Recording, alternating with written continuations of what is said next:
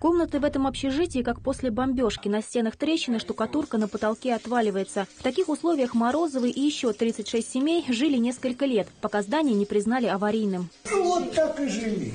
Все горел. Так и вот и страдали сюда. Сейчас, получив ключи от новой квартиры, пенсионеры не верят своему счастью. Больше всего радуются ванной. В старом доме ее не было. Туалет был общий во дворе. А новая квартира с полной отделкой. Есть сантехника, газовая плита. Хозяева уже украшают новый дом к Новому году. Решают, куда поставить мебель. Конечно же, новую. Тут будет диван стоять и все. Больше телевизор там стоит.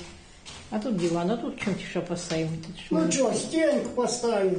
Далеко переезжать не пришлось. Трехэтажный дом построили рядом с общежитием. Окна новой квартиры в аккурат выходят на старую. Впрочем, прошлая жизнь долго маячить в окне не будет. Ее просто снесут. А вот район пенсионерам нравится. Прожили здесь половину жизни. Недалеко от новостройки есть аптека, амбулатория, магазины и рынок. Там ну, плохо жилось.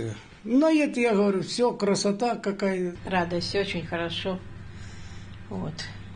Нам и- это на маленькой, хоть не на нам са- нормально. Полой мыть хоть поменьше. В поселке Сахарный завод Лебедянского района ключи от новых квартир получили 37 семей. Дом построили по программе переселения из ветхого и аварийного жилья. На строительство потратили более 30 миллионов рублей. Порядка 12 из них – средства Фонда содействия реформированию ЖКХ. В этом году мы переселили порядка, э, в целом э, в цифрах, порядка 500 квартир.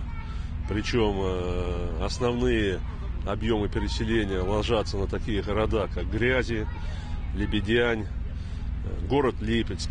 В этом году самый большой объем переселения. До конца года в новые квартиры переедут еще 700 человек. Программа переселения из ветхого и аварийного жилья реализуется в регионе с 2008 года и курируется лично главой администрации Олегом Королевым. За время ее существования жилье получили более 6 тысяч человек. Ольга Родина, Валерий Фаустов, Липецкое время, Лебедянский район.